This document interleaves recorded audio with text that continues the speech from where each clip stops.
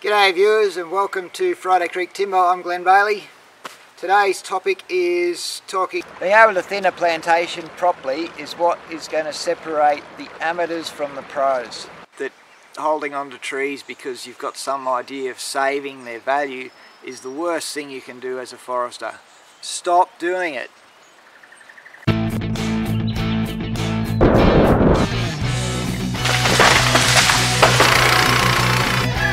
Blade down. Quite beautiful.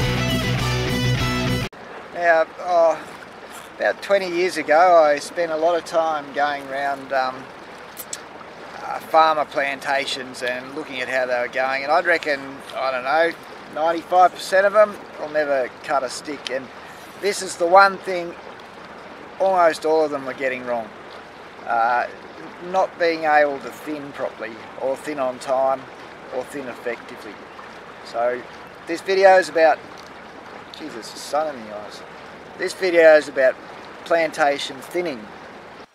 Aim to maximise the value of the individual tree. The big trees are worth money, little trees are worth nothing. For the same volume of timber, the big tree is king. Um, and it's not just a linear thing. Look, it doesn't pay to be sentimental about thinning trees. Think of it like thinning out carrots in the garden. Um, there's just no point keeping the little ones.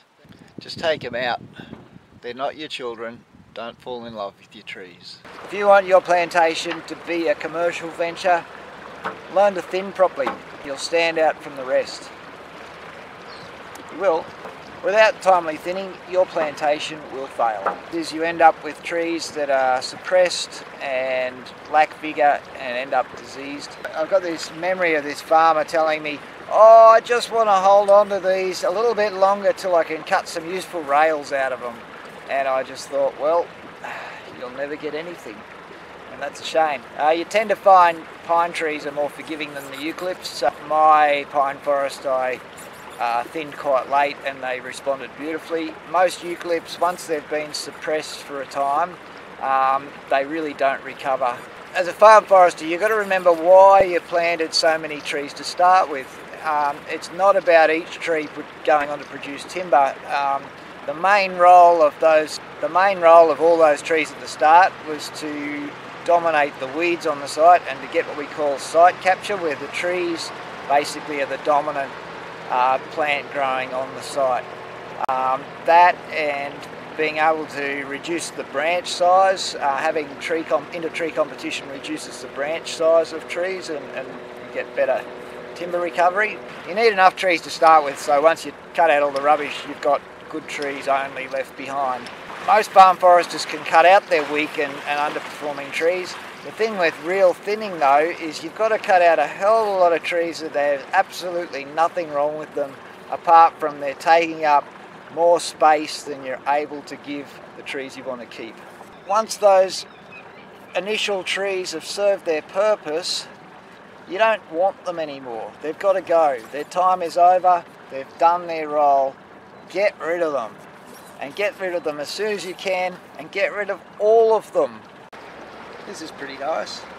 Once a plantation has stagnated through too high a stocking for too long into the rotation, a lot of trees never recover and you'll lose that vigour that they could have had uh, and their health will never be what it could be. So get in early, get your thinning done on time. Now your, your thinning schedule will vary on your species, your site and your climate. So um, it's not always, it's not a blank prescription, but um, know your plantation and make sure it is done on time. Don't leave things too late and don't procrastinate because you want to hold on to trees. You've got to be ruthless. There's no room for sentimental thinking with plantation forestry. And I'm a pretty sentimental guy. A bit of a softy really. It really hurt me when I had to cut down some beautiful trees in my pine plantation. Um, gee, there were some magic ones, but Geez, I'm glad I did. about a third of the trees in my pine plantation I cut down to waste and just did it with a small saw. A lot of work.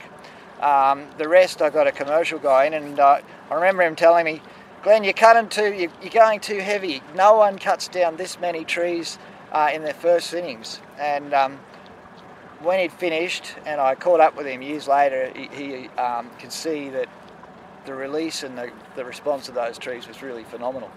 You've got to have a vision for what your plantation is going to be in the future. Your, your value of your first thinnings is about 0 to 1% of your final harvest. So don't worry if you don't make any money on it. Um, in a lot of cases, you spend money to get rid of your first thinnings. It's all about their job is done and your job is to put volume onto a small number of trees that are going to be highly valuable in 10 or 20 years time.